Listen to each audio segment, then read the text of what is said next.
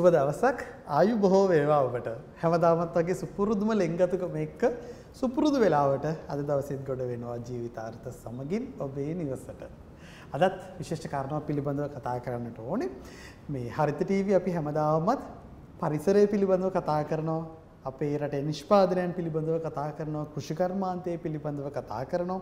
ඉතින් එය ප්‍රවර්ධනය කිරීමත් අපේ අභිප්‍රායක් මේ ප්‍රවර්ධනය කිරීම කියන කාරණේදී මේ අපිට ඕනේ මේක තිරසාරත්වයෙන් යුක්තව කරන්න. සස්ටේනබල් ඩිවලොප්මන්ට් කියන තැනට අපිට යන්න ඕනේ තිරසාර සංවර්ධන ඉලක්කත් එක්ක. ඉතින් ඒවත් සපුරා ගනිමින් පරිසරයට ආදරය කරමින් ඔබවත් යම් දියුණු තැනකට ගෙන යන තමයි අපි අපේක්ෂාව නිරන්තරයෙන් ජීවිතාර්ථ හරහා අපි ඒ කටයුතු සිදු කරන්නේ ඒ කාරණේම පෙරදරි කරගෙන. අපි අපේ රටේ ප්‍රධාන නිෂ්පාදන භෝගයන් පිළිබඳව කතා කරනවානේ. ආර්ථිකය කෘෂිකර්මාන්තය පිළිබඳව කතා කරත් අපි B කියන තැනට එනවා.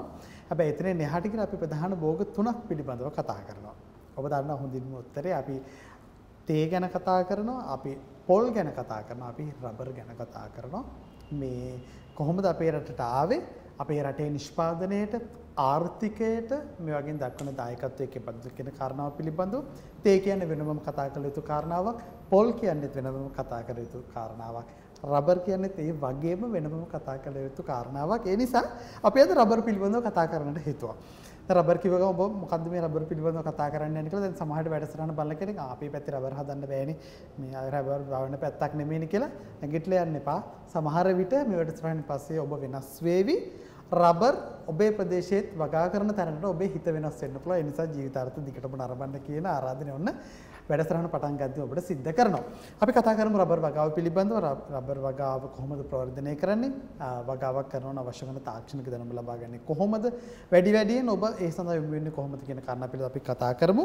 අපි කතා කරන්න සූදානම්ින් සිටින්නේ මේකත් ඇතරම අපි හරි ආඩම්බරෙන් කියන්නේ ලොව ප්‍රථම හා පැරණිතම රබර් පර්යේෂණ ආයතනය අපිටයි තියෙන්නේ. ඔබ දන්නවද ඒ කාරණේ ප්‍රථම සහ පැරණිතම රබර් පර්යේෂණ ආයතනය ශ්‍රී ලංකාවේ අපිට තියෙන්නේ. අපි ඒ පර්යේෂණ ආයතනයත් එක්ක සම්බන්ධලා මේ උපරිම ඵල නෙලා ගනිමු. අලුත් මානිකේ වෙනස් මානිකේ අපි රබර් වගාවටත් යොමු වන්නට මේක අවස්ථාවක් වේවි. අපි කතා කළා එහි වැඩ බලන ප්‍රධානිසා ප්‍රධානී මේ ශ්‍රී ලංකා රබර් පර්යේෂණ ආයතනය මම සඳහන් කරන්නේ උපදේශක සේවා දෙපාර්තමේන්තුවයි එතුමන් නියෝජනය කරන්නේ වැඩ බලන ප්‍රධානී ආචාර්ය සංජීව ගුණරත්න මහත්මයා අපත් සමගින් සහ සම්බන්ධ වෙලා තිනවා සංජීව මහත්මයා අයබෝන් අයිබෝන් ඉතාමත්ම ආදරෙන් ඉතාමත්ම ගෞරවයෙන් ඔබතුමන්ව පිළිගන්නවා ජීවිතාර්ථ වෙත මේ දැන් මේ හැමදේම කතා කරන්න කලින් මට හිතෙන සංජීව මහත්මයා මේ ඉතිහාසයට පොඩ්ඩක් අපේ ඉතිහාසය මතක් කරන්න බෑනේ නේද? තේ ගැන කතා කරත්, පොල් ගැන කතා කරත්, රබර් ගැන කතා කරත් සුදු මහත්තුරු එහෙමත් අපිට මතක් වෙනවා ඉතින්. රබර් වල ඉතිහාසය කොහොමද තියෙන්නේ? කොහොමද අපේ රටට ආවේ කියන තැන අපි කතා බහ පටන් ගනිමුද? ඔව් දුවිතු. මම හිතේ ඒක ඉතාමත් වැදගත් තැනකින් ඔබ පටන් ගත්තේ. අපි දන්නවා ශ්‍රී ලාංකිකයෝ අපේ රබර් ගහ ගත්තොත් එහෙම ඒක ලංකාවේ නිජබිම වෙච්ච ගහක් නෙවෙයි. මේක ආගන්තුක ශාකයක්. ඇත්තටම සුදු මහත්තුරුන්ග කාලේ අපි දන්නවා මේකේ මුල් ගම නැත්නම් මුල් රට ගත්තොත් එහෙම බ්‍රසීලිය. කෙසේ වෙතත් 1875 76 කියන වකවානු විදිහේ සර් හෙන්රි වික්හම් කියන සුදු මහත්තයා එතුමා එතුමාට ආසාවක් ආවා මේ රබර් ටික අපි රබර් වගාව අපේ රටවල් වලට ව්‍යාප්ත කරමු කියලා. එතකොට එතුමා එවකට එංගලන්තේ කිව් උද්‍යානයේ අධ්‍යක්ෂවරයාගෙන් පුංචි අවසරයක් ගන්නවා මට රබර් බීජ ටිකක් පැල කරන්න දෙන්න කියලා.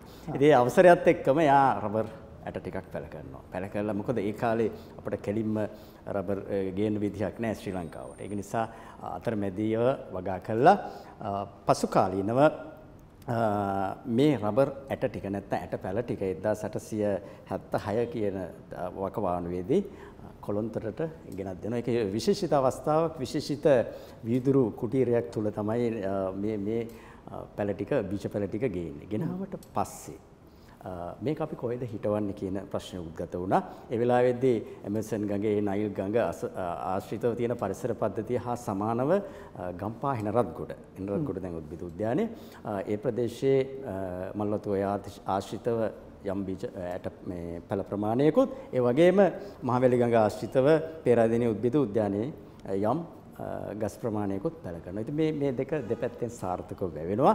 වැවීමත් සමගම ලංකාවේ එවකට කෝපි වගාව ක්‍රමෙන් ඉවත් වීමත් සමගම රබර් වලට හොඳ ඉල්ලුමක් ලැබෙනවා. විශේෂයෙන්ම මම තව දෙයක් මතක් කරන්න ඔබතුමා ඉතිහාසය ගැන කතා කරන නිසා 1906 දී ආන්තර්ජාතික රබර් ප්‍රදර්ශනය ප්‍රථම වතාවට ලංකාවේ පේරාදෙණියේ පවත්වලා තියෙනවා. ඉතින් මේකත් එක්ක ලංකාවේ ලෝකේ රබර් වගාව ඉදිරියට ගියා, ඉස්සරහට ගියා. විශේෂයෙන්ම අපේ සහෙන්ඩ වික්‍රම කැම් මැතිතුමා ඒ ගත්ත උත්සාහය ප්‍රතිඵලයක් හැටියට ලංකාව තමයි එතකොට මුලින්ම ආසියා කළේ අග්නිදික ආසියා කළේ රබර් වගාව සනිටුහන් කළේ පැල කළේ ඒ වගේම අපෙන් ඊට පස්සේ අනිත් ලෝකෙට හැමතැනටම රබර් යන්න පටන් ගත්තා. ඔක තමයි ඉතිහාස කතාව ඉතාම කෙටි. ඉතාමත්ම කෙටියෙන් ඉතිහාසයත් කතා කරලා මේ ඉතිහාසය කතා කරලා ඉන්න ගම වර්තමානයට එන්නට ඕනේ. දැන් අපි ලංකාව තුළ දැන් අපි ඉස්සර නම් දන්නවා ටිකක් මේ රබර් පිළිබඳව කතා කරද්දී ඇත්තටම මේ සංජීව මහත්මයා ටිකක් ඉස්සරනට වැඩියෙන් රබර් වගා කළා දුකල මේ මගේ හැඟීම මේක හරි වෙන්නත් වැරදි වෙන්නත් පුළුවන්. ඒක ඔබතුමාගෙන් අපි ඒක දැනගනිමු. මේ ඉස්සරහට වැඩියෙන් කරා දැන් චුට්ටක් වගාවෙන් ඈත් වෙලාදෝ අඩු වෙලාදෝ කියන ප්‍රශ්නාර්ථයක් පොඩ්ඩක් තියෙනවා. ඒ නිසා අපි කතා කරමු මේ රබර් වගාව ඇතුලේ තියෙන වර්තමාන තත්ත්වයේ කෙබඳුද ගොඩි ගොවියන් වගා කරන්න වැඩි වශයෙන් ඇවිල්ලා තියෙනවද? ඈත් වෙලා තියෙනවද? මේ කාරණාත් එක්කම අපි කතා කරමු. ඔව් ඔව්. ඔබතුමා හරි ඉතිහාසයේ යම් කාලයක හෙක්ටයාර ලක්ෂ දෙකක් විතර ලංකාවේ තිබිලා තියෙනවා 1930 ගණන් වල. නමුත් ඒක ක්‍රමයෙන් අඩු වෙලා තියෙනවා නාගරීකරණය සහ විවිධ හේතු මත. ඔබ දන්නවා සම්ප්‍රදායිකව රබර් වගා කරන්නේ තෙත් කලාපේ. නමුත් ඉන්න ඔබට ගිහිල්ලා මේ වෙනකොට අපේ අතරමැදි කලාපය සහ වියලි කලාපය කියන පරිසර පද්ධති ජයගෙන රබර් වගාව ව්‍යාප්ත කරලා තියෙනවා. අපි මේ පිළිබඳව චුට්ටක් පස්සේ කතා කරමු. විශේෂයෙන්ම වර්තමානයේ රබර් වගාව නැත්තම් වපසරිය ගැන මම ඉලක්ක කළොත් නැත්නම් ඉඩම් ප්‍රමාණය ගත්තොත් හෙක්ටයාර 98000කට වගේ සීමා වෙලා තියෙනවා. හෙක්ටයාර 98000ක් කිව්වහම මේ කොටස් දෙකකට කෙලින්ම කඩන්න පුළුවන්. අපි දන්නවා කිරි කැපෙන්නේ නැති නැත්නම් අපරණත වගාව, ඒ වගේම කිරි කැපෙන පරිණත වගාව. ඒ කොටස තමයි අපිට ආර්ථිකමය වැදගත් ඍජුම දායකත්වයෙන් දක්වන කොටස. ඒක හෙක්ටයාර 84000කට පමණ සීමා වෙන. ඒ වගේම තව දෙයක් කියන්න ඕනේ අපි ලංකාවේ ගත්තොත් එහෙම ප්‍රධාන පරිපාලන දිස්ත්‍රික්ක 16ක් විතර මේ වෙනකොට රබර් වගාව ව්‍යාප්ත වෙලා තියෙනවා. ඉතින් ඒක නිසා ඔබ දන්නවා ඒක සෑහෙන සතුටට කාරණාවක්. නමුත් ඔබ නතු කළා ප්‍රශ්නයක් ක්‍රමයෙන් රබර් වගාවේ ඉඩම් ප්‍රමාණය අඩු වෙලා ගියා. ඔව් මම ඒක එකගයි. නමුත් ඒ අඩුවීමත් සමගම රබර් පරීක්ෂණ ආයතනයේ මැදිහත් වීමත් සමගම සහ වෙනත් ව්‍යාපෘති රබර් සංගන්ධන දෙපාර්තමේන්තුවේ මැදිහත් වීමත් සමගම අපි වෙනත් කලාපවලට දිස්ත්‍රික්කවලට තෙත් කලාපයෙන් ඔබට රබර් වගා ව්‍යාප්ත කරලා තියෙනවා. ඒ වගේම තමයි ඒකක භූමියකින් ගන්නා වූ ඵලදායිතාවය. නැත්නම් අපි ඒක ඉංග්‍රීසියෙන් කියන ප්‍රොඩක්ටිවිටි කියලා. ඒ ලෑන්ඩ් ප්‍රොඩක්ටිවිටි ප්‍රමාණය රබර් ඉඩමකින් අපි ඒක වැඩි කරලා තියෙනවා. ඉතින් ඒකත් එක්ක කෙනෙකුට කියන්න බෑ රුචුවම රබර් වගාවෙන් ඈත් වෙලා තියෙනවා කියලා. පුංචි පුංචි අඩු වැඩි වීම වෙන්න පුළුවන්. මේක ආර්ථික කෘෂි ආර්ථික භෝගයක්, වැවිලි භෝගයක්. සමහර වෙලාවට ඉඩම් අපසරි අඩු වැඩි වීම වෙනවා. නමුත් සමස්තයක් ලෙස මෙම කර්මාන්තය වගාව ඉදිරියට ගිහිල්ලා තියෙනවා. සමස්තයක් විදිහට මේ කර්මාන්තය වගාව ඉදිරියට ගිහිල්ලා තියෙනවා. ඉතින් මේ ඒ ඒ ගැන අපි කතා කරන නිසා සමහරවිට අපි හිතනවා මේ අඩු වෙලා තිබුණාද ඈත් වෙලා තිබුණාද කියන කාරණා අපිට සමහරවිට නෑ. වගා කරන බිම් ප්‍රමාණය අඩු වෙලා තිබුණත් එහෙන් ගන්න අපි කියන්නේ ප්‍රොඩක්ට් එක අපේ ප්‍රොඩක්ටිවිටි එක ටිකක් වැඩි වෙලා මට්ටමට ඇවිල්ලා තියෙනවා. ඉතින් ඒ නිසා මේ ආර්ථිකමය වශයෙන් කොයිතරම් දුරට වැදගත්ද කියන කාරණය පිළිබඳව ඔබ දැනගන්න කැමැත්තක් ඇති දැනගන්න සතුටු ඇති මේ සංජීව මහත්මයා අපි ඒ කාරණේ පිළිබඳව ඇත්තටම කතා කරමු. මොකද දැන් රබර් පිළිබඳව කතා කරද්දී කෙනෙක් හිතනවා නම් මේ වගා කරන්න ඕනේ. එහෙම නැත්නම් සමහරවිට වැඩසටහන දැන් අද බලන ඇති හරිත ටීවී මේ කලින් එහෙම වගා කරලා වගාවෙන් දැන් ඈත් වෙලා ඉන්න කෙනෙක්.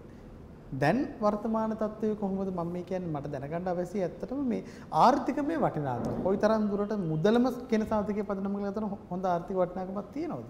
ඔව්. ඇත්තටම අපි ගත්තොත් එහෙම මේක ආර්ථික භෝගයක් කෙලින්මම අපි හඳුන්වන්නේ. ඉතින් ප්‍රධාන ආර්ථික වැවිලි භෝග අතුරින් මේක හොඳ ස්ථානයක තියෙනවා. මම ඒක යම් ආර්ථික දත්තත් එක්ක ඔයාලට ගලපන්න. හොඳයි. එතෙන්ද අපි ගත්තොත් එහෙම ලෝකේ රබර් නිෂ්පාදනය අතර නැචරල් රබර් නැත්නම් ස්වභාවික රබර් නිෂ්පාදනය ඇතුළෙන් අපි දායකත්වය දක්වන්නේ මේ වෙලාවේ වර්තමානයේ 0.7ක වගේ දායකත්වයක් තමයි දක්වන්නේ. ඒක යම් ප්‍රමාණයක අඩුවක්. නමුත් ඒ ඒ දෙකත් එක්ක අපි අපි ලෝකයේ 15 වෙනි ස්ථානයේ නිෂ්පාදනය අතුරින් අනිත් රබර් වවන සංසන්දනය රටවල් එක්ක සංසන්දනය කරනකොට ඉන්නවා.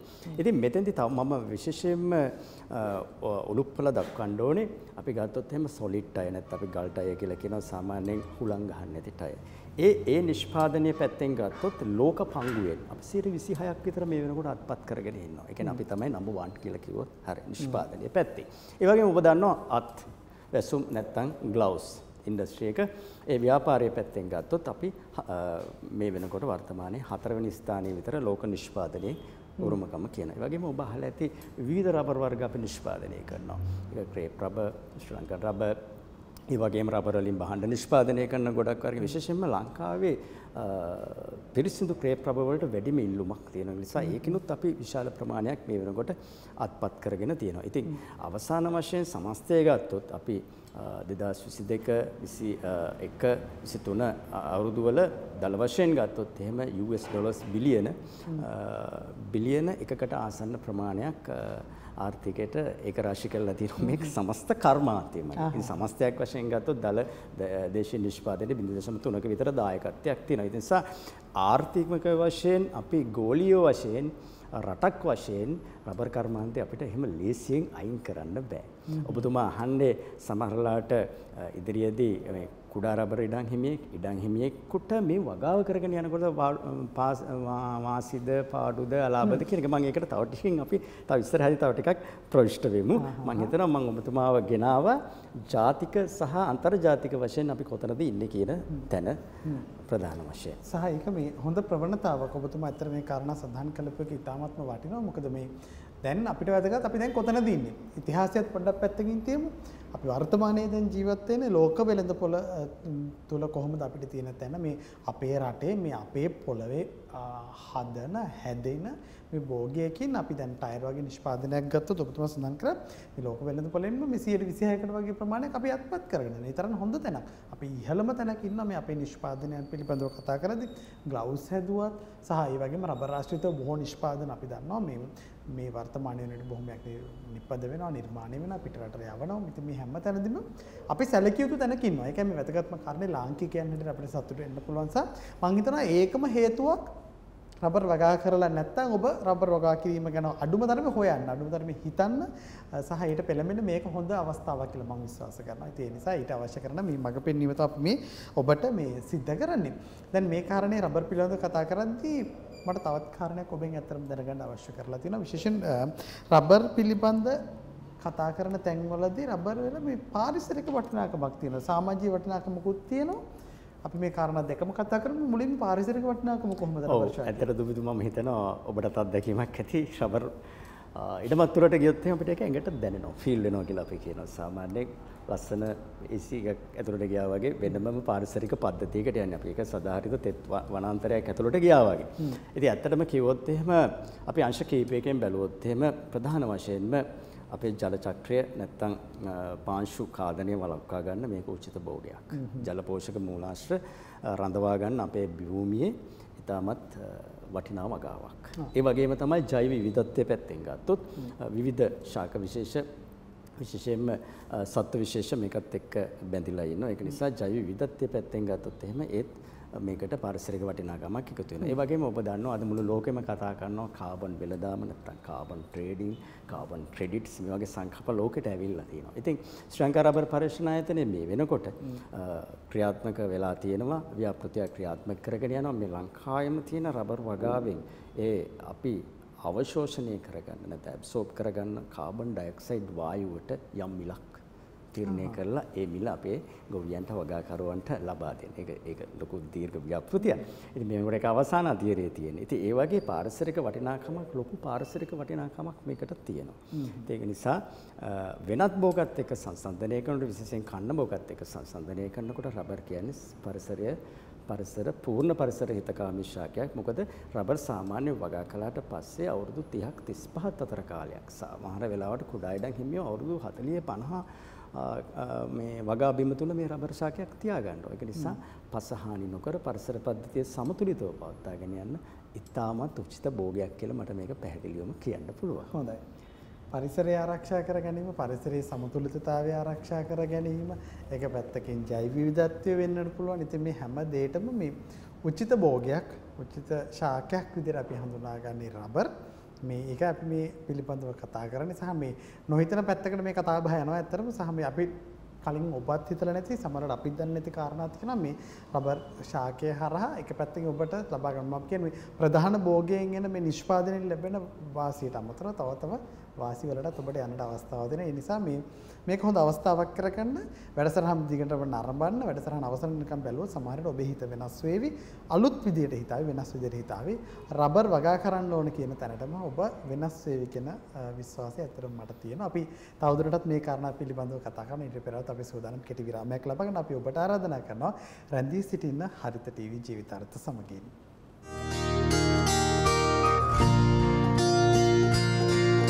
了。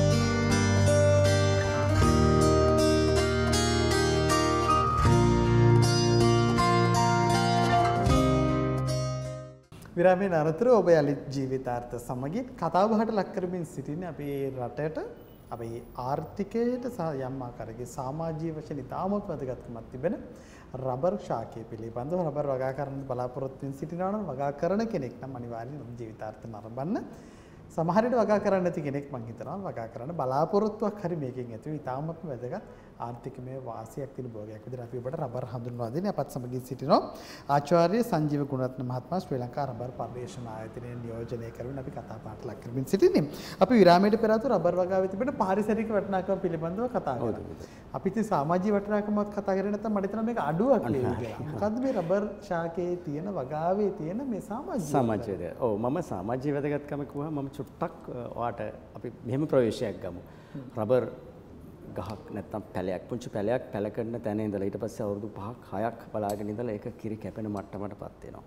ඒ දක්වා මේකේ ගොඩ ක්‍රියාකාරකම් ටිකක් තියෙනවා. ඊට පස්සේ කිරි කැපීමේ සිට කිරි කැපීම පටන් ගත්තට පස්සේ සාමාන්‍යයෙන් නිල වශයෙන් මේ ගහ අවුරුදු 24ක් 25ක් විතර ආර්ථිකමය ජීව කාලයක් තියෙනවා. ඒ කියන්නේ අපිට දිගටම මුදල්මය වටිනාකමක් ලබා දෙනවා. ඊට පස්සේ මේක උගුල්ලලා යනවා. මෙන්න මේ දාමිය තුල දිගු දාමිය තුල අපේ ප්‍රචාව නැත්තම් අපේ ලාංකීය ජනතාව විවිධ විවිධ අවස්ථාවලදී මේකට ඍජුවම සම්බන්ධ වෙනවා. ඔබ හිතලා බලන්න කොච්චර ප්‍රමාණයක් විතර ඇද්ද කියලා. දල වශයෙන් අපි එතන ඉදන ආසන්න වශයෙන් මිලියනයකට ආසන්න ප්‍රමාණයක් අපේ ලාංකීය ජනතාව මේ කර්මාන්තයත් එක්ක ඍජුව සහ වක්‍රව. ඒ මම කතා කළේ ඔතන වගාව පැත්තෙන් ඊට අමතරව නිෂ්පාදනයේ පැත්තේ. නැත්තම් මේ කර්මාන්ත ශාලාව සේවකාදීන් සහ ඒ සියලු අංශ නියෝජනය කරමින් මේක ලොකු සමාජීය වැදගත්කමක් අපි ලබා දීලා තියෙනවා වගාකරුවට අමතරව. වගාකරුවා ගත්තොත් එහෙනම් ප්‍රධාන වශයෙන් එක් ලක්ෂ පනස් දහක් විතර කුඩා රබර් ඉඩම් හිමියෝ ඉන්නවා. කුඩා රබර් ඉඩම් හිමියෝ කියලා කියන තුමිදු අක්කර 50ට වඩා අඩු ඉඩම් හිමියෝ. මෙතන ඔබ තේරුම් ගන්න අක්කර කාල භාගේ සහ අක්කර 49 50 කියන ඒ වපසරිය තුල විශාල ප්‍රමාණයක් මෙතන ඉන්න දල. වශයෙන් 1 ලක්ෂ 50000ක් අපි කියන ඊට අමතරව මධ්‍ය පරිමාණ ඉඩම් හිමියෝ. අක්කර 20ත් අක්කර 50ත් අතර ඉන්න ඉඩම් හිමියෝ. ඒ වගේම විශාල වතු සමාගම් අක්කර 50ට එහා ඉන්න වතු සමාගම්. ඉතින් මේවා ඉන්න සේවකාදීන් මේ සියලු දෙනාම ගත්තාම තමයි මේ සමාජීය සත්කාරයට සහ අපේ රටේ ආදායම උත්පාදනයට නැත්තම් රැකියාව උත්පාදනයට මේ රබර් වගාව සහ කර්මාන්තය ඍජු ලෙස දායක වෙලා තියෙනවා. ඒක තමයි මට මෙතෙන්දී සමාජීය වටිනාකම කියලා ඔබට අදහස් කරන්න පුළුවන්. ආර්ථිකමය වශයෙන් සමාජීය වශයෙන් පාරිසරික වශයෙන් ඉතාමත්ම වැදගත්කමක් තියෙන භෝගයක්. සමහරවිට අපි මේක හිතලා නැහැ. රබර් ගහක් වුණා රබර් කට්ටියක් අපි කියනවා රබර් වත්තක් කියලා අපි කියමු. දැක්කම අපි හිතනවා මේ මේක මේ තනිකරම මේ කිරි ගණ්ඩන මේ ටික මේ හදලා තියෙන්නේ. මේ එතනින් එහාට දෙයක් නැහැ කියලා සමහරවිට ඔබත් හිතලා නැති වෙන්න පුළුවන්. නමුත් එතනින් එහාට ගිහලා ලොකු බරපතල කාරණාවක් මේක ඇතුලේ තියෙනවා. පරිසරය ආරක්ෂා කර ගැනීම කියන කාරණේ පාංචු කාදිනේ වැළැක්වීම. මේ බොහෝ කාරණා රබර් ශාකයේ හරහා සිද්ධ වෙනවා කියන කාරණේ අපි ඔබට සඳහන් කරන්නේ. දැන් මේක මේ තවත් කාරණාවක් අහන්නම ඕනේ දැන් අපි හිතනවා රබර් වගා කරද්දී නිශ්චිතව මෙන්න මේ ප්‍රදේශ තමයි. සමහරවිට අපි රබර් වැඩිපුරම තියෙන්නේ කොහෙද කියලා අහුවොත් අපි දෙන උත්තර ටිකක් තියෙනවා. හැබැයි දැන් ඔබතුමන්ලත් මැති ඇත්තල රබර් පර්යේෂණ ආයතනයෙන් ලබා දෙන මඟ පෙන්වීමත් එක්ක සහ මේ විවිධ කරන පර්යේෂණත් එක්ක මොකද පසහ සම්බන්ධ පර්යේෂණ සිද්ධ කරනවා මොන භූමියටද ගැලපෙන්නේ සහ නව සොයා ගැනීම සිද්ධ කරනවා. අර අපි සාම්ප්‍රදායිකව හිතාන හිටපු ප්‍රදේශ දැන් අතික්‍රමණය කරමින් යනවා උදාහරණයක් විදිහට අම්පාර වගේ ප්‍රදේශයක් ගත්තොත්. මොනරාගල වගේ ප්‍රදේශයක් ගත්තොත් ඒ දක්වාම දැන් මේ ව්‍යාප්තිය සිද්ධ කරගෙන යනවා ක්‍රමානුකූලව. අපි හිතන්නේ ටිකක් අපිට අම්පාර මොනරාගල වගේ ප්‍රදේශාවක ටිකක් මේ අවුව පායනවා. වැඩි පොඩි කරකශ ගතියකුත් එක්ක මතක් වෙන්නේ. හැබැයි ඒ පැත්තට රබර් ගිහිල්ලා තියෙනවා. කොහොමද මේ මේ කාරණේ පිළිබඳව අපි අතරම කතා කරමු? ඔව් ඔව් ඔව්. අපි අ, ප්‍රධාන වශයෙන් ගත්තොත් එහෙම එක පාටම නිතැතිම රබර් කියපු ගමන් වැස්සත් එක්ක රබර්.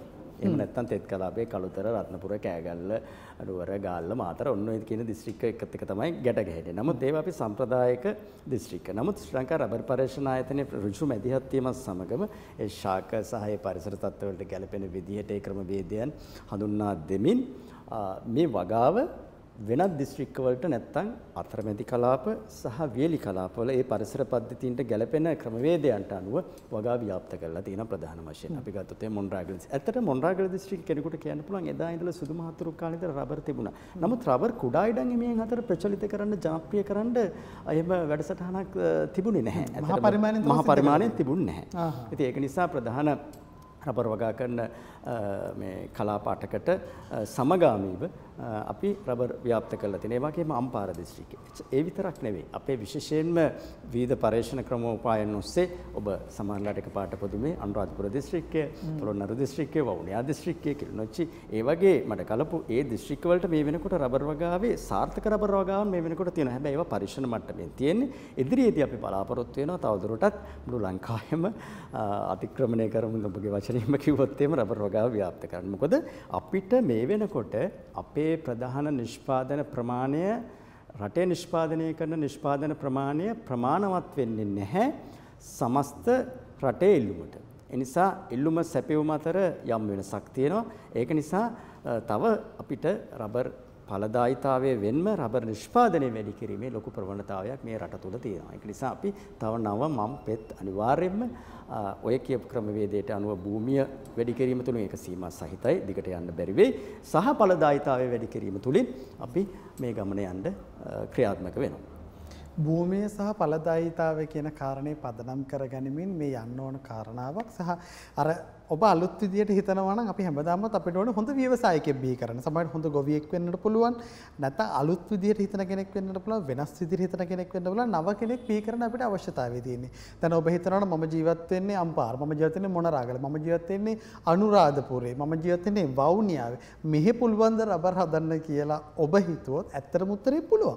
ඒකට අවශ්‍ය කරන මඟ පෙන්වීම තමයි රබර් පර්යේෂණ ආයතනය හරහා සිද්ධ කරන්නේ. පර්යේෂණ සිද්ධ කරනවා. පස්ස සම්බන්ධ පර්යේෂණ සිද්ධ කරනවා. ඉතින් මේ ඒ නිසා මේ ඔබ හොයලා බලන්න අලුත් දේවල් වෙනස් වෙන දේවල් එක්ක ඔබටත් මේ දේ කරන්නට පුළුවන්. මේ තහ ආර්ථිකමය වශයෙන් ඉතාමත්ම වැදගත්කමක් තියෙන භෝගයක්. මේ ආවට ගියාට අපි මේ කතා කරන කාරණාවක් නෙවෙයි. ඉතාමත්ම වැදගත්කමක් තියෙන භෝගයක්. ඒ නිසා අපිට අවැසි ඔබ ඒ තැනට ගෙනියන්න. ඉතින් මේක හොඳ සංවාදයක් බවට පත් වේවි. අලුත් සංවාදයක් වෙනස් සංවාදයක් බවට පත් වේවි. ඒක අපි මේ කාරණා පුන පුනා අපි මේ ඔබට සඳහන් කරන්නේ මේ එක පැත්තකින් මාධ්‍ය වගකීම අපේ මේ අපිට ගැළපෙන දේවල් හරියටම ගැළපෙන දේවල් අපිට යම් මුදලක් උපය ගන්න ගොවියෙක් හැටියට ගොවි මහත්තයෙක් හැටියට ඔබට මේ අවස්ථාව ලබා දෙන්න අපි උත්සාහ කරන්නේ. ඒ නිසා වෙන අපි කතා බහට ලක් කරමින් සිටින රබර් පර්යේෂණ ආයතනයේ අ, කොහොමද මේ කටයුත්තට දායකත්වයේ දක්වන්නේ කියන කාරණේ පිළිබඳව. දැන් ආයතනය පිළිබඳව අපි ඇත්තටම පොඩි අ, අපි මුලදී සාමාන්‍ය වැඩසටහනකදී ආයතනය පිළිබඳව කතා කරන්නේ මුලින්ම කතා කරනවා. මම මට හිතෙනවා මේකට වෙනස් පැත්තකින් පටන් ගන්න ඕන කියන නිසා දැන් මේ කෙනෙකුට කැමැත්තක් තියෙනවා නේද කරගන්න මොකද්ද මේ රබර් පර්යේෂණ ආයතනය? මොකක්ද මේ ආයතනය සිද්ධ වෙන්නේ? කොහෙද පිහිටලා තියෙන්නේ? ලංකාව ඕන තැනක ඉඳන් සේවාව ලබා ගන්න පුළුවන්ද? අපි රබර් පර්යේෂණ ආයතනය පිළිබඳව යම් හඳුන්වා දීමක් කරමු. ඔව් ඔව් දුමිතු. ඒක හරි. රබර් පර්යේෂණ ආයතනය නැත්නම් ශ්‍රී ලංකා රබර් පර්යේෂණ ආයතනය තමයි ලොව ප්‍රථම සහ පැරණිතම රබර් පර්යේෂණ ආයතනය වෙන්නේ. ඒක මෙහෙමයි වෙන්නේ. ඇත්තටම 1909 කියන ඈත අතීතයේදී අපේ වැවිලිකරුවෝ කල්තොර දිස්ත්‍රික්කයේ ඒගොල්ලන්ට ඕන වුණා රබර් ඔබ දන්නවා කිරිකැට ගහනවා කියලා. ඒ ගැට ගැනීම පිළිබඳ ප්‍රශ්නයක් අහම විද්‍යාඥයෙක්ගේ සහායක් පතන්න වුණා. අන්න එතන තමයි මේ රබර් පර්යේෂණයේ ආරම්භය ලොව ආරම්භය සිදු වෙන්නේ. ඉතින් මේ ආරම්භයත් සමගම ඊට පස්සේ අවසානයේ ඒක රබර් පර්යේෂණ ක්‍රියාවලියක් බවට පත් වෙලා අවසානයේ ස්ථාපිත වෙන 1951 විතර වෙනකොට ශ්‍රී ලංකා රබර් පර්යේෂණ ආයතනය නම්.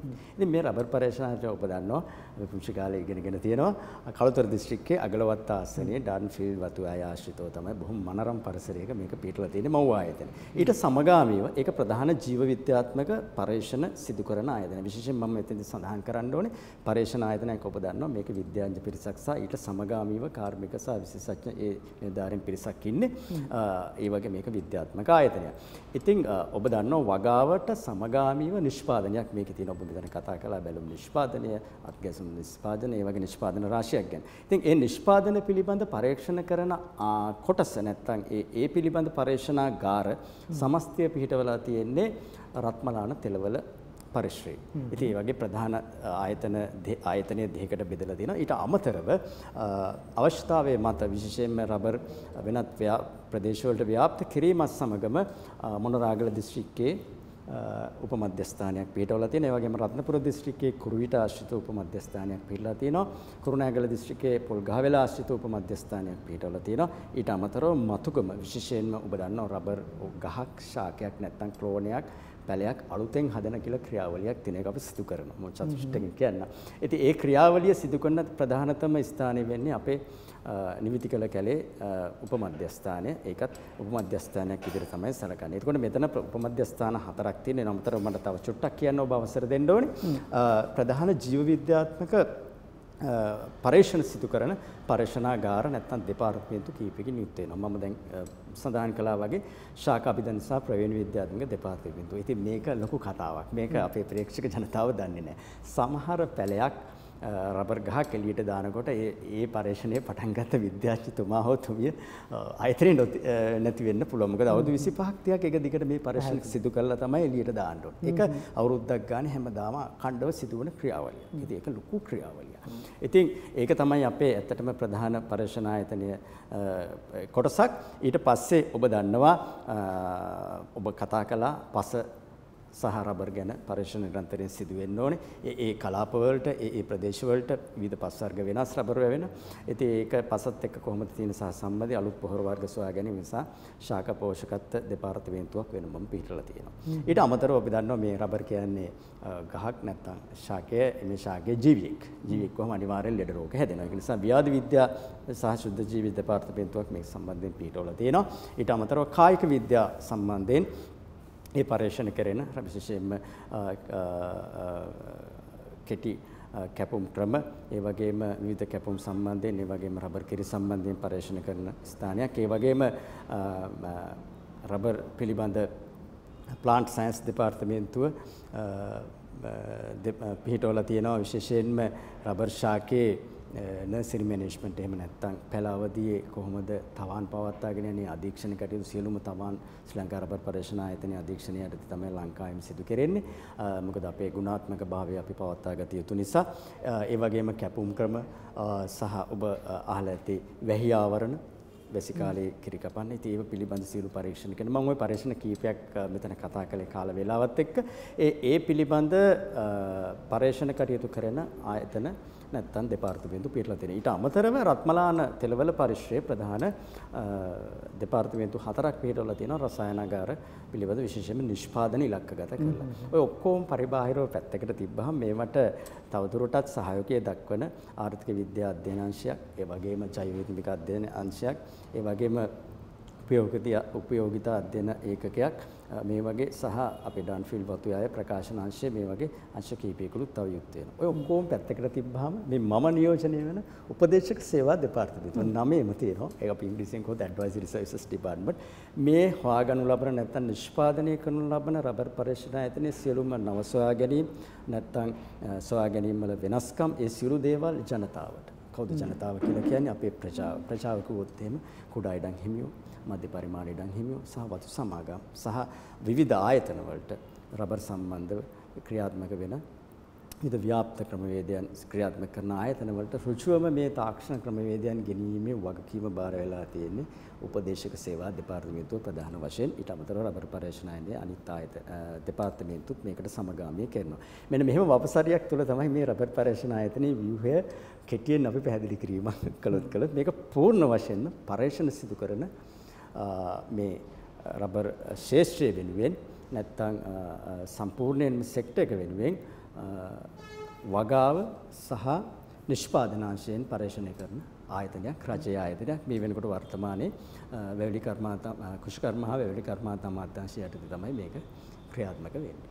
හොඳයි. රබර් පිළිබඳව මූලික වශයෙන්ම පර්යේෂණ සිද්ධ කරන රබර් වැඩි දියුණු කරන්නට සමහරවිට දැන් මේ අපි මුල් කාලේ වගා කරපු මීට අවුරුදු 20කට 30කට කලින් වගා කරපු ශාකය නෙවෙයි වෙන්නේ වර්තමානයේ අපි අඳුරලා දෙන්නේ. නව සොයා ගැනීම හැම ක්ෂේත්‍රයකම සිද්ධ කරන්න ඕනේ. ආ පළදාව යම් ආකාරයකින් නැත්නම් මේ සාරය උරා ගැනීම පිළිබඳව ඊට වැඩි ඊට එහෙම නැත්නම් අපි මේක ප්‍රොඩක්ට් එකට තැනට යද්දි මේකේ ක්වොලිටි එක මේන්ටේන් කරන ක්වොලිටි එක වැඩි කරන්න මේ අවශ්‍ය කරන මූලික පර්යේෂණ නව ශාක වර්ග අභිජනනය කරන්න. මේ හැම දෙයකම මූලිකවම නම් හාට් එක කියලා කිව්වොත් ඇත්තටම නිවැරදිට අවශ්‍ය කටයුතු තමයි මේ රබර් සම්බන්ධව මේ රබර් පර්යේෂණ ආයතනය සිද්ධ කරන්නේ. ඒ නිසාමයි අපි අද දවසේ උන්ට ආරාධනා කරේ මේ කාරණේ පිළිබඳව කතා කරන්න. දැන් ඔබතුමා සඳහන් කළා දැන් රබර් පර්යේෂණ ආයතනයේ හරහා මෙන්න මේ කාර්යයන් ටික සිද්ධ වෙනවා කියලා. එතනින් මේ සිද්ධ කරපු කාර්යයන් එහි ලැබෙන ප්‍රතිඵලය කොහොමද ජනතාවට ගෙනියන්නේ කියන කාරණේ පිළිබඳවත් අපි කතා කරමු. පැහැදිලිවම. මම මීට පෙර සඳහන් කළ උපදේශක සේවා දෙපාර්තමේන්තු හරහා ඒ වගේම මීට සමගාමීව වැවිරි කර්මාන්ත අමාත්‍යාංශය යටතේ රබර් සංවර්ධන දෙපාර්තමේන්තුව කියලා වෙනත්ම ආයතනයක් තියෙනවා. ඉතින් ඒකේ රබර් සංවර්ධන නිලධාරීන් ඉන්නවා. ඊට අමතරව උපදේශක සේවා දෙපාර්තමේන්තුවේ ප්‍රධාන රබර් වගා කරන දිස්ත්‍රික්ක ආවරණය කරමින් ශ්‍රේෂ්ඨ නිලධාරීන් ඉන්නවා. ඉතින් මේ රබර් සංවර්ධන නිලධාරීන් සහ රබර් ව්‍යාප්ති නිලධාරීන්ගේ මේ මඟ පෙන්වීම යටතේ තමයි මේ කරුණු කාරණා අපේ ජනතාව වෙත නැත්තම් වගාකරුවන් වෙත ඍජුවම ළඟා වෙන්නේ. ඉතින් ඒක යාන්ත්‍රණය සිදුවෙන වැඩසටහන් ව්‍යාපෘතීන් ගොඩාක් තියෙනවා මට මම මෙතන අපිට කතා කරන්න බැරි වෙයි අපි බලමු වෙන දවසක. ඉතින් ඒක නිසා ඒ ක්‍රමවේදයන් ඔස්සේ තමයි ප්‍රධාන වශයෙන් මේ ගලා යාම සිදුවෙන්නේ. ඊට අමතරව මාධ්‍ය ඔස්සේ සහ අපේ ප්‍රකාශනාංශයේ ඒ වගේම සමාජ මාධ්‍ය අපි භාවිතා කරනවා. ඒ ඔස්සේ තමයි මේ ගලා යාම සාරාංශ වශයෙන් සිදුවෙන්නේ. හොඳයි. ඒ ගලයම සිද්ධ වෙන ආකාරය පිළිබඳව අපි කතා කරා. අපි තවදුරටත් මේ තොරතුරු කතා කරන්නට ඕනේ. දැන් ඔබට උනත් යම් ආකාරයක මේ වගාව පිළිබඳව ආරම්භ කරන්නට ඕනේ, හොයා බලන්න ඕනේ කියලා යම් පෙළඹවීමක් යම් උත්තේජනයක් ඇති වෙලා. ඉතින් අපි තවදුරටත් ඒ කාරණා පිළිබඳව කතා කරනවා. ඊට පෙරත් අපිට අවශ්‍ය යලිත් කෙටි විරාමයක් ලබා ගන්න අපි ඔබට ආරාධනා කරනවා. රැඳී සිටින අපත් සමගින්.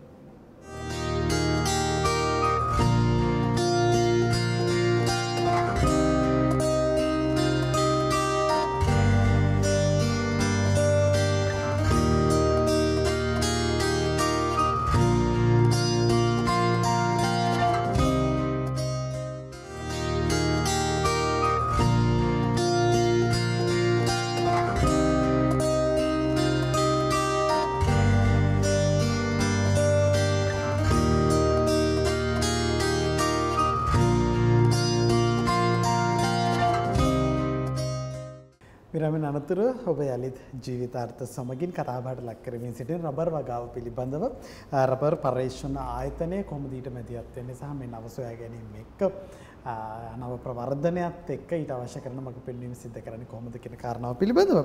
අපත් සමග සිටින සංජීව ගුණරත්න මහත්මයා එතුමාත් එක්ක අපි මේ කාරණේ කතා බහට ලක් කරමින් සිටින්නේ. සංජීව මහත්මයා දැන් වර්තමානයේ වන විට කෙනෙකුට හිතෙන්නට පුළුවන් අඩු වැඩි වශයෙන් ඔය සමහර මාධ්‍ය ඇතුළෙත් අපි දැකලා තියෙන කාරණා. මීට පෙර ආතුවත් අපි ටිකක් අහන්න ලැබුණු කාරණා සමහරු කියන මේ රබර් වගා කරන එක මගට පාඩුයි වගේ කියලාත් එහෙම හිතර හැඟීමක් තියෙන කෙනෙක් ඉන්නට පුළුවන් මේ ඇත්තටම මේ ආර්ථික තත්ත්වය පිළිබඳ අපි යම් ආකාරයක හිතලා බැලුවොත් මේ සම්පූර්ණ වටපිටාව ගැන හොයලා බැලුවොත් මේ ඇත්තටම රබර් වගා කරන එක පාඩුයිද මිනිස්සුන්ට ඔව් ඔබතුමා කියන කරි මමත් මාධ්‍යයේ සමහරලාට දැකලා තියෙනවා. මම එකට මෙහෙම ප්‍රවේශයක් ගන්න. රබර් කියන්නේ තාක්ෂණික භෝගයක්. සිටවීමේ සිට අවසානයේ අවුරුදු 30කට 35කට පස්සේ රබර් ගහ ශේෂ්ත්‍රයෙන් ඉවත් කිරීම සඳහා තාක්ෂණය හා සම්බන්ධ වෙච්ච භෝගයක්. නමුත් අපි දැකලා තියෙනවා සම්ප්‍රදායිකව අපේ රබර් වගාකරුවෝ මීට අවුරුදු 20කට 30කට ඉස්සෙල්ලා තිබුණු භෝගත් එක්ක නැත්නම් රබර් වර්ගත් එක්ක ගනුදෙනු කරන ආකාරයටමයි තාමත් ගනුදෙනු කරගෙන යන්නේ. තාක්ෂණයත් එක්ක අනුගත වීමේ ලොකු පසුබෑමක් තියෙනවා. ඒ අර සම්ප්‍රදාය ඇතුළේ හිර වෙලා ඉන්නවා. තාමත් සම්ප්‍රදාය ඇතුළේ හිර වෙලා තියෙනවා. අලුත් ගස් වර්ග හඳුන්වලා තියලා තියෙනවා. එතකොට ඒ ගස් වර්ගත් එක්ක අලුතෙන් කැපුම් වර්ග හඳුන්වලා තියලා තියෙනවා. ඒවට එන අලුත් ලෙඩ රෝග වලට ප්‍රතිකාර කරන්න හැටි හඳුන්වලා දීලා තියෙනවා. විශේෂයෙන් වැහි ආවරණ ක්‍රම හඳුන්වලා දීලා තියෙනවා. පොහොර වර්ග නිර්දේශ හඳුන්වලා දීලා තියෙනවා. ඊළඟට ඔබ හොඳටම ඔබ මාධ්‍යයෙන් දැකලා ඇති කිරිකැපුම් ශිල්පීන්ගේ හිඟය.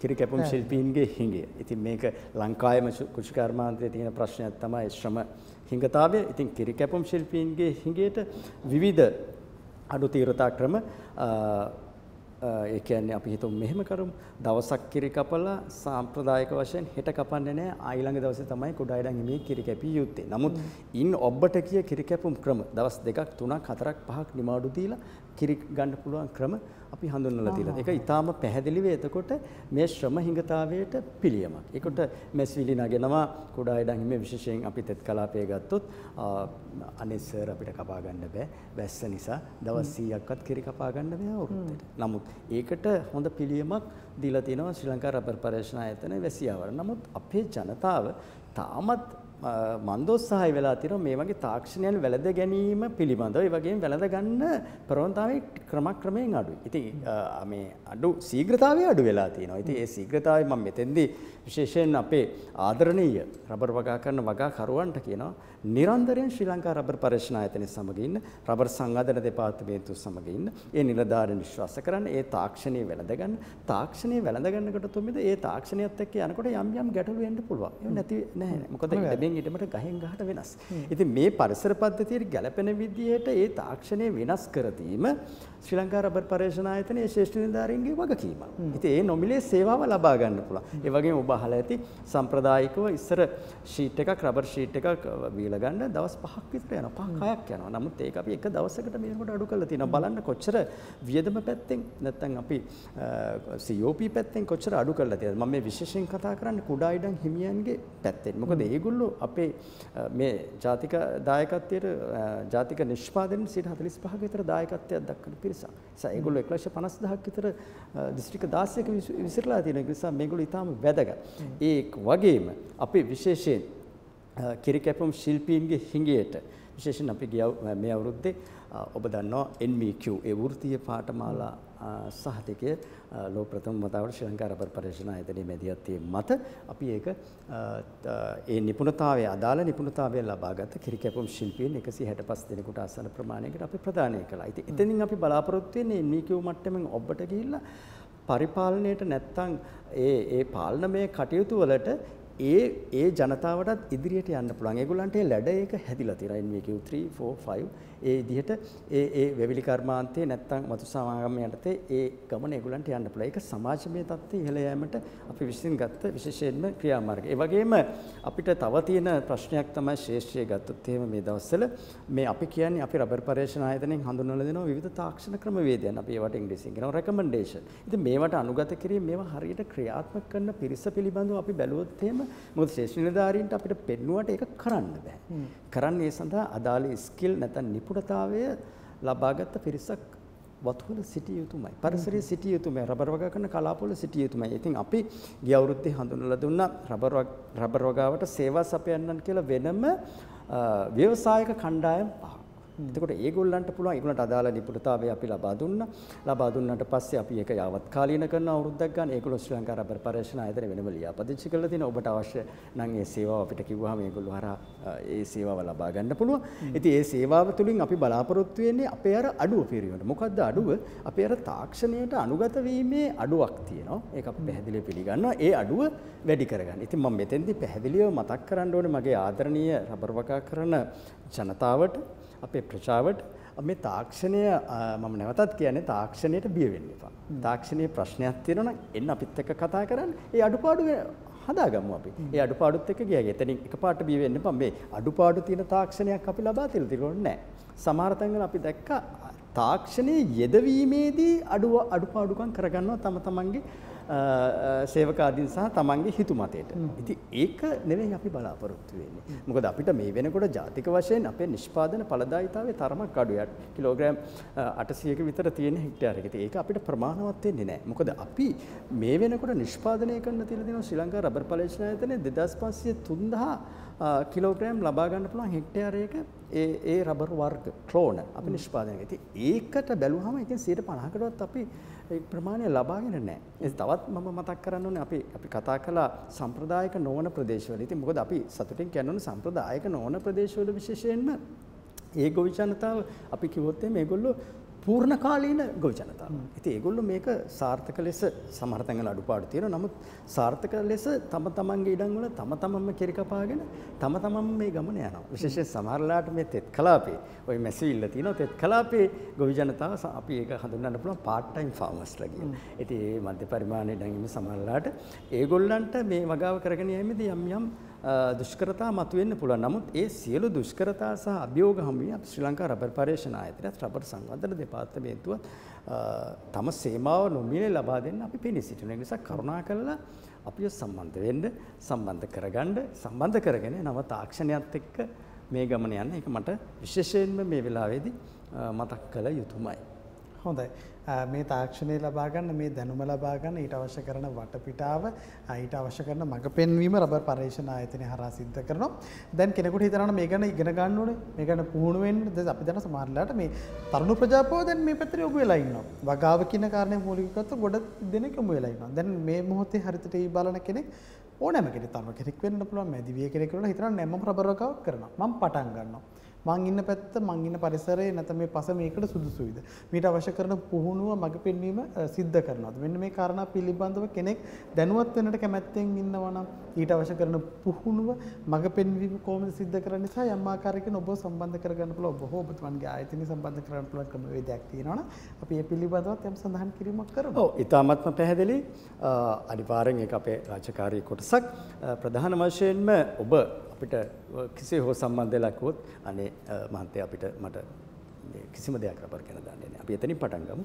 මට මේ රගාව කරන් යන බොහොම සන්තෝෂයි. අපි එතන ඉඳලා ඒ අවශ්‍ය අවැසි පුහුණුව වගාවක් පටන් ගන්නෙ කොහොමද? ඒ සඳහා බිම් සකස් කිරීම, ඊළඟට පැල සිටවීම, ඊට පස්සේ වගා නඩත්තු අපරිණතකාර, ඊළඟට අතුරු භෝග, අතුරු භෝග වගාව, ඒ කියන්නේ කිරි කැපෙන්නේ නැති කාලය තුලදී යම් ආදායමක් ගන්න අවුරුදු 5ක විතර අතුරු භෝග වගාව නඩත්තු කිරීම ඊට පස්සේ කිරි කැපීම කොහොමද කිරි කපන්නේ අපිට පුළුවන් මේ දෑති හුරුව කිරි කැපීම සඳහා දෙන්න. ඒ සඳහා අපේ කිරි කැපුම් පුහුණු පාසල් තියෙනවා. ඒක දින පහේ පුහුණු පාසල්. ඉතින් ඒක අපි ඔබ කිරි කපන්නේ දන්නේ නැතුව ඇති මං හිතන විදිහට. නමුත් ඔබ මේ පාසලට આવත් අවසානයේ කිරි කැපුම් ශිල්පියෙක් විදිහට තමයි අවසානයේ ඔබ සහතිකලාභියෙක් බවට පත් වෙලා එළියට යන්නේ. ඉතින් ඒ ඒ අවශ්‍ය දැනුමටත් එහා කිය නිපුණතාවය අපිට ලබා දෙන්න පුළුවන්. ඉතින් එපමණක් නෙවෙයි දුම් ගෙවල් පිළිබඳ තාක්ෂණය. ඊට අමතරව ෂීට් සෑදීම නැත්තම් අපි කියනවා රබර් රොටි කියලා.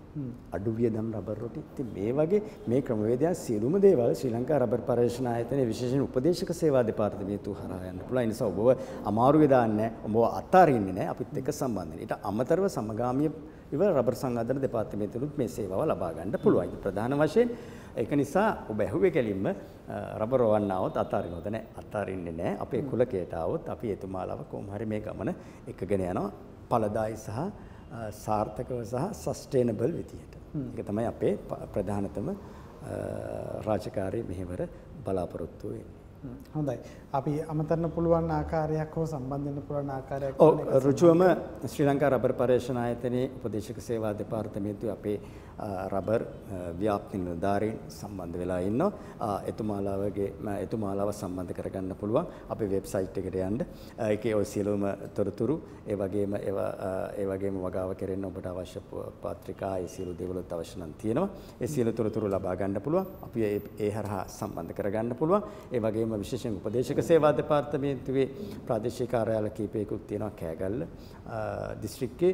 ඒ වගේම රත්නපුර කිරියල්ල ඒ වගේම කළුතර මතුගම සහ අකුරැස්ස ප්‍රදේශයේ. ඉතින් ඒක නිසා ඒ හරහත් අපිව සම්බන්ධ කරගන්න පුළුවන්. ඉතින් ඒ ඔස්සේ අපිට පුළුවන් නිරන්තරයෙන් අපේ කතිකාවත නැත්නම් අපේ බලාපොරොත්තුව රටේ බලාපොරොත්තුව ඉස්සරහට ගෙනියන්න රබර් වලින් අපේ අවශ්‍යතාවය පරිමසා ගන්න. හොඳයි. සංජය මහත්මයා දැන් අපි මේ වැඩසටහනේ අවසානයට ඇවිල්ලා තියෙන අපිට තව මිනිත්තු කිහිපයක් අතර මිතුරු වෙලා තියෙන මට හිතෙනවා මේ මේ මිනිත්තු කිහිපය යොදා ගන්නට ඕනේ එක පැත්තකින් මේ මොහොත වෙද්දි රබර් වගා කරන සමහරට වගා කරන එක දැන් අවසන් කරන්න හිතලා ඉන්න කෙනෙක් වෙන්න පුළුවන්. එහෙම නැත්නම් අලුතෙන්ම පටන් ගන්න හිතන කෙනෙක් වෙන්නට පුළුවන්. එහෙම කුමන අවධියක හිටියත් ඒ ඕනෑම කෙනෙකුට ඔබට අවසන් වශයෙන් කියන්නට කාරණාවක් තියෙනවා. වගා නොකරන කෙනෙක් නම් වගා කළ යුතුයි. අපි දැන් ආරම්භ කළ යුතු දැන් පටන් ගන්න කියලා හරි කමන්නේ දෙයක් කියන්න තියෙනවා. ඔබතුමන්ට අවසාන වශයෙන් මොනවද කියන්නේ? ඔව් ඔව් ඔව් අපි ගත්තොත් එහෙම ඔබ දැන් රබර් පිළිබඳ දීර්ඝ සංවාදයක අවසානයේ ඉන්නේ. මේ වගාව කෙලින්ම ගත්තොත් එහෙම මේක ඇත්තටම රබර් කියන්නේ පින්වන්ත ගහක් කෙලින්ම කිව්වොත් පරිසර ජාතික සහ සමාජමය වතෙන් ඉතින් මේ මේ වගාවත් සමග කිසි පැකලීමකින් තොරව එකතු වන්න එකතු වෙලා අවශ්‍ය කරුණු කාරණා නැත්නම් උපදෙස් අපිත් එක්ක ලබා ගන්න. ලබාගෙන ජාතික ආර්ථිකයට අපි බලාපොරොත්තු වෙනවා. මොකද අපේ ඉලක්ක සපුරලා තියෙනවා. අපේ සම්පූර්ණ නිෂ්පාදනය ලක්ෂයක් දක්වා වැඩි කරන්න මෙට්‍රික් ටොන් වසරකට. ඒ වගේම අපේ දල වශයෙන් අපේ US ඩොලර්ස් බිලියන් 1 කියන එකට එහාගේ අපි දෙකක ඉලක්කයක් මේ වෙනකොට ඒ සඳහා සැලසුම් සකස් කරමින් පවතිනවා. අපි සහ කරලා පවතිනවා. ඒ සඳහා වැඩ ආරම්භ කරලා තිනවා. ඉතින් ඒ නිසා ඒ කාර්යයට බය නැතුව අපිත් එක්ක එකතු වෙන්න ඔබට රබර් වගාවත් සමග සුබ කිරෙන් සපිරි අනාගතයක් ප්‍රාර්ථනා කරනවා. ඒ වගේම ඔබට ඔබ ආයතනයට අපි ස්තුතිවන්ත වෙනවා. මොකද කුෂිකාර්මික නාලිකාවක්. ඉතින් අපි ඒකයි නිරන්තරයෙන් ඔබත් සමග සම්බන්ධ වුණේ. නිසා ඉදිරියේදීත් මම හිතන්නේ අපි සම්බන්ධ වෙවි. නිසා රබර් කර්මාන්තයේ අවශ්‍ය සියලුම උපදෙස් සහ ඒ සේවාවන් අප වෙතින් නොමිලෙන් ලබා ගන්න ඒ තුලින් රටේ රබර අවශ්‍යතාවය සපුරා ගන්න කියලා මම ඉල්ලීමක් කරනවා. හොඳයි.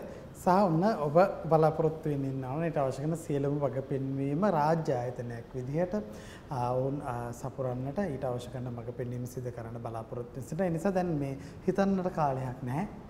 වැඩ කරන්න වැඩ පටන් ගන්නයි දැන් කාලේ තියෙන්නේ. ඔබ රබර් දැනටත් ඔබ මේ ශේෂ්ත්‍රයේ ඉන්නවා නම් ඔබට යම් ගැටලු තිබෙනවා නම් රෝග සම්බන්ධ ගැටලු වෙන්නට පුළුවන් පස්ස සම්බන්ධ ගැටලු වෙන්න පුළුවන් මේ රබර් කිරි ගන්න එක වෙන්න පුළුවන් වැසි කාලයේදී යම් ගැටලු වෙන්නට මේ සියලුම දේවල් පිළිබඳව ඔබ කිසිදු පැකිලීමකින් තොරව ඔවුන් හරහා අවශ්‍ය කරන තොරතුරු ලබා ගන්න. අලුතෙන් මෙතන කෙනෙක් ඉන්නවා නම් අලුතෙන් පටන් ගන්න ඕනේ කියලා ලංකාවේ ඕනෑම ප්‍රදේශයකින් ඔබට අඩුම ප්‍රදේශ වගා කරන්න පුළුවන්ද කියන කාරණේ හරි ඔවුන් එක්ක සහ සම්බන්ධලා හොයලා බලන්න. මම හිතනවා මේ ආර්ථිකමය වශයෙන් සමාජීය වශයෙන් පාරිසරික වශයෙන් මේ කාරණා සියල්ලගෙන්ම ඉතාමත්ම හොඳ වගාවක් විදිහට අපි ඔබට හඳුන්වා දෙන රබර් වගාව අලුතින් හිතන්න වෙනස් විදිහට හිතන්න.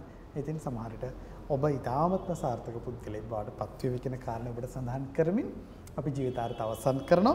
අද දවසේ අපි කතා කරන රබර් වගාව පිළිබඳව අපත් සමගින් සහ සම්බන්ධ වුණා ශ්‍රී ලංකා රබර් පර්යේෂණ ආයතනයේ උපදේශක සේවා දෙපාර්තමේන්තුවේ වැඩ බලන ප්‍රධානී ආචාර්ය සංජීව ගුණරත්න මහත්මයා සංජීව මහත්මයා බොහොමත්ම ස්තුතියි. අපත් සමගින් සහ සම්බන්ධ වුණා අපි ඔබට සම්බන්ධ වෙනවා. අයිබෝන්. එසෙනම් හිතවතුරි අවසරයි සමුකරන අද දවසේ ජීවිතාර්ථ තුළින් එළමෙන දිදේ ඔබ හමුවන්නන් ඔබේ ජීවිතයට වටිනා වැඩි යමක් එකතු කරන බලාපොරොත්තු ඇතිව සුබ දවසක් ප්‍රාර්ථනා කරන ඔබට.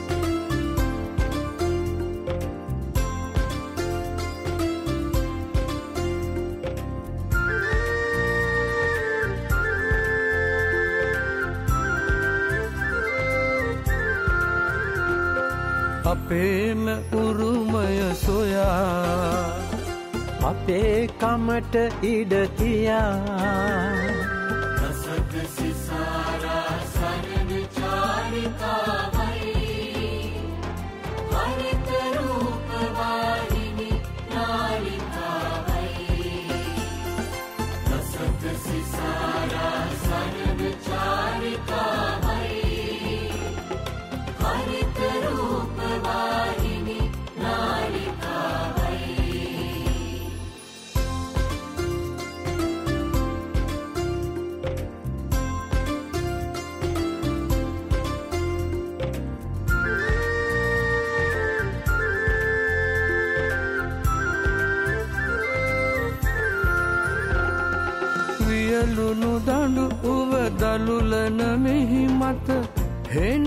කුඹුරට යොමු කරගත සිට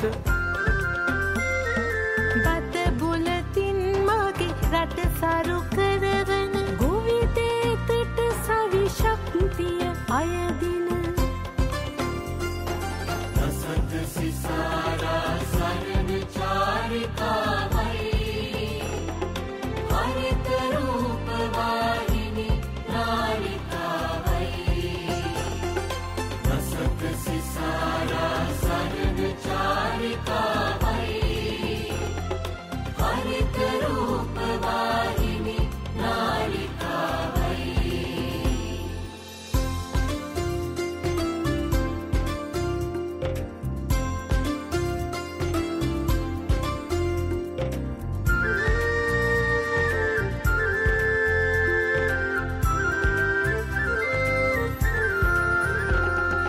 ගලනා හැල දොල වැඩෙනා ගහකොල අත් වග සුරකින බවට සපත කළ.